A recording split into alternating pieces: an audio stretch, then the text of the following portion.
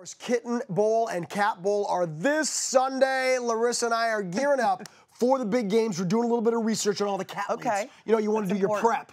Yeah. Right, Larissa? Very important. Are you excited, Larissa? Yes, it's true. I'm so excited. I love watching every year. And of course, we got to be part of Cat Bowl this year. And I love the fact that Cat Bowl also celebrates older cats and special needs cats. And it just warms my heart. You can't get cuter than Kitten Bowl and Cat Bowl. And speaking of cats, let's meet an amazing cat named Ears, who is so sweet. Look at this guy. He's a he's an older boy named Ears. As I said, he's located in Brooklyn, New York. He's had quite a rough life, but he is ready ready to find his adoption ever after. And we are going to meet him now with Becky.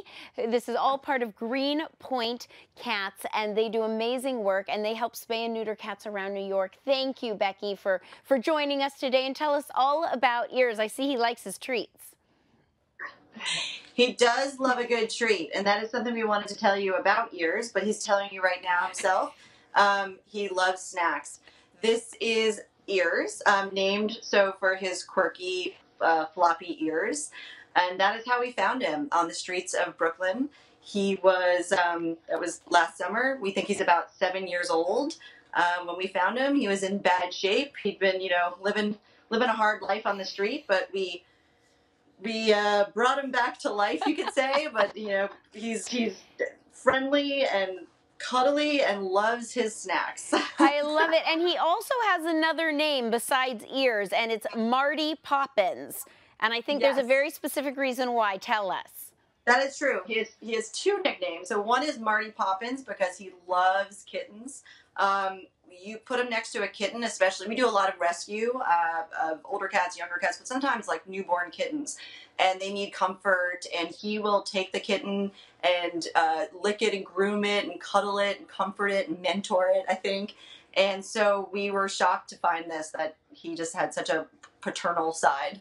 Oh. So he's Marty Poppins. We also call him Cheetah because he has an incredibly long tail. oh, well, he is so sweet. I love him. He just exudes character for some reason. You just look at him and you know he's had a rough life, but he's such a lover. And thank you for doing what you do. And obviously, Greenpoint Cats does something very interesting. They go out through all of New York and really are trying to bring that overpopulation down by spaying and neuter the street cats. So you do a lot of good work. And thank you for taking ears into your care, and I hope that he finds his adoption ever after very soon. And if anybody is interested in either him or any of the other animals in your care, or maybe donating to help you do more good in New York, they can go to your website, which is greenpointcats.org. Again, you're located in Brooklyn. And if anybody is interested in a kitten or a cat, there are so many at shelters across the country. Right now, there aren't as many kittens because it's not kitten season, but you can still find amazing older cats that need adoption ever afters and get overlooked. So please